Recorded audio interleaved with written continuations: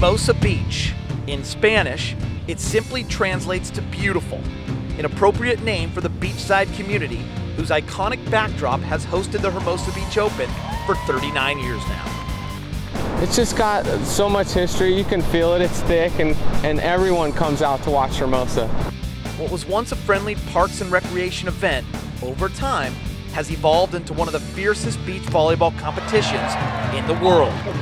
And today, it's considered a major in the sport.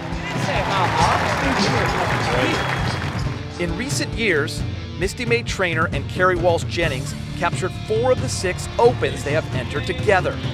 In 2007, the Hermosa Beach Open saw firsthand Misty May Treanor's record breaking 73rd career victory. Misty May has become the all time winningest female in the history. Most notably on the men's side, Phil Dalhausser and Todd Rogers are looking for their fifth straight Hermosa title.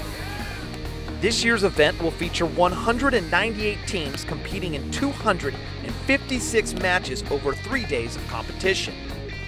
On the men's side, Phil Dalhausser and Todd Rogers are natural favorites to capture their fifth consecutive Hermosa title. Phil and Todd are perhaps playing the best volleyball of their careers. However, Matt Fuerbringer and Nick Lucena captured their first title together just last week in Virginia Beach and are primed for a run. The tandems of Sean Scott and John Hyden, Casey Jennings and Brad Keenan, and Jake Gibb and Sean Rosenthal surely figure to be in the mix as well. On the women's side, the split of last year's champs, Elaine Youngs and Nicole Branagh, make a repeat impossible. Can Nicole and her new partner bounce back from early season mediocrity? Jen Kessy and April Ross have simply had Misty and Nicole's number thus far.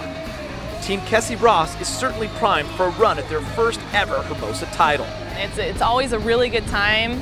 I would love to win Hermosa. Angie Akers and Tyra Turner, 2006 champs Elaine Youngs and Rachel Scott, as well as the rest of the highly skilled field, will certainly make the 2010 Hermosa Beach Open ultra competitive.